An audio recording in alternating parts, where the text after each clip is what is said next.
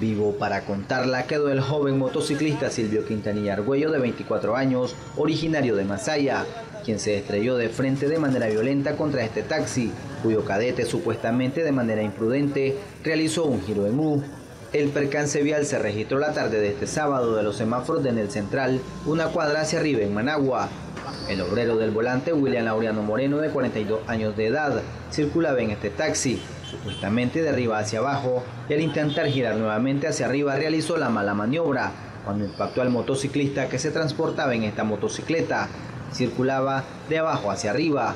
El brother venía de, los semáforos de en el central, venía en dirección para, para Metrocentro, correcto.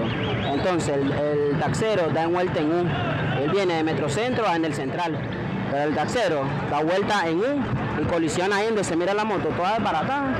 El muchacho viene a caer hasta este lado, donde están los muchachos ahí parados.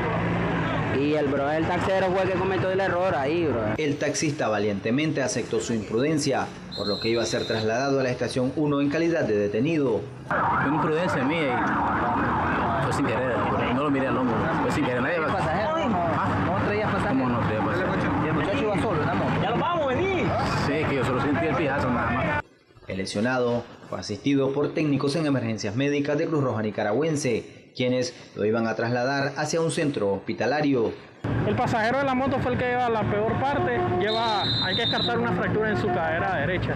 Ah, ¿dónde lo va a llevar? Va estable, consciente, orientado. Lo estamos trasladando al hospital Fernando Vélez. Lejos de buscar la manera como ayudar al joven lesionado, un sujeto se aprovechó de la situación y le intentó robar su teléfono celular. Sin embargo, no corrió muy largo, pues fue atrapado por agentes policiales, siendo trasladado a la estación 1.